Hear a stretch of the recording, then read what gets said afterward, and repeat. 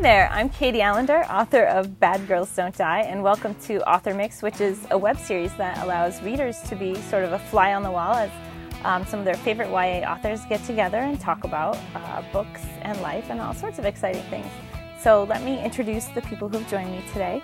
Um, Margaret Stohl and Kami Garcia, who are the authors of Beautiful Creatures, Melissa De La Cruz, the author of the Blue Blood series, and Cecil Castellucci, the author of Beige.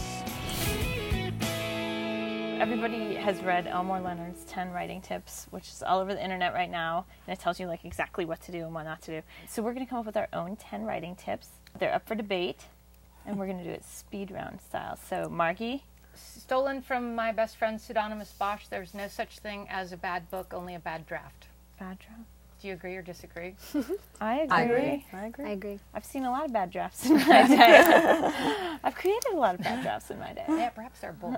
I'm going to steal from Clive Barker, who I know, love, and am secretly in love with also. And he says you should read everything that you write out loud to yourself. That is painful. but no, it, it but works. it works. It totally Yeah. works. And you guys Totally did that with Beautiful Creatures? Yes, Yes. and think how long that was. that would have been a 42 She spent a lot of time read. reading to each Days other. of your life you'll never get back. It's way too embarrassing to do in front of another person. Not even with each no, other? you We no do no no. We do it separately. I'll say go read that out loud, and you'll see how cheesy it is. And then she'll call me back and be like, okay, fine. It's like standing naked in front of a mirror.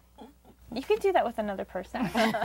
I get a lot of questions about how to get through the writing block, and I just say take breaks, you know, because you get to that wall, take a break, take a walk, you know. I like to dance around. You take like I think a physical break, like you go into treadmill for half an hour, and then you go back, and you know, for me, it like it kind of helps, you know. The treadmill. Go, go from doing something painful to something painful. That's a great life. I don't know, some kind of like physical No, action. and you. Yeah, know? can we substitute like trips to the refrigerator? for the I was about to say, how about a meal? Yeah. Uh, I'm gonna say write the part that you like. Yeah, Mm, that's a good one. I totally do I like that. that.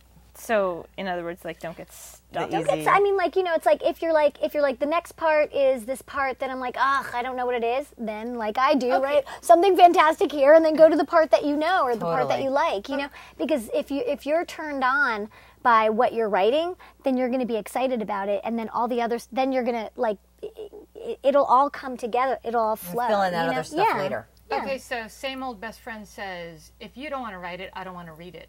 But I don't know if that's true because sometimes things are hmm. just hard to write. I don't think it means they're bad. Well, I think it depends because, like, sometimes there are some people whose their writing code is they really like description. Mm-hmm. Oh, you know, the grass was green and the, the, the stalk bent this way, just slightly at a 45 degree angle to the left, and the sun. Right, exactly. I just went into a coma. I just went into a coma, you know, but, like, you know, other people, it's like, you know, I want to know the grass is green and then, you know, then you move on. But what I think is interesting sometimes is that you have to make sure that you flesh out both parts. My code is that I just want to get to the characters and the dialogue and go bang, bang, bang.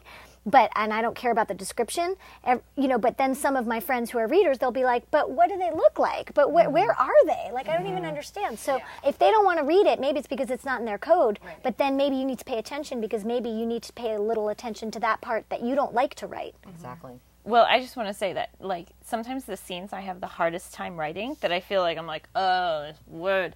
You go back, and those are the scenes that flow the best, which mm-hmm. doesn't make any sense at all, but that's mm-hmm. just the way it is.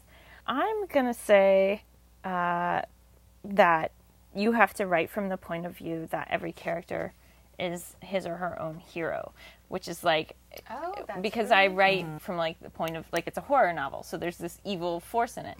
But even an evil force doesn't get up in the morning and think, I'm evil, I'm going to go do some evil today. Everybody's always out to fulfill their own agenda. And I think you can round out your evil characters or your even like rude characters, as it may be in like YA or whatever, um, you know, by figuring out what is motivating this person, what's actually awesome motivating them, as opposed to like, like, and then she comes in and she's mean because she's mean. I because I had a teacher in ninth grade and and I had written a story and she said, "What's wrong with this character?" And I was like, "She's crazy," and she was like, "No, you can't just say she's crazy."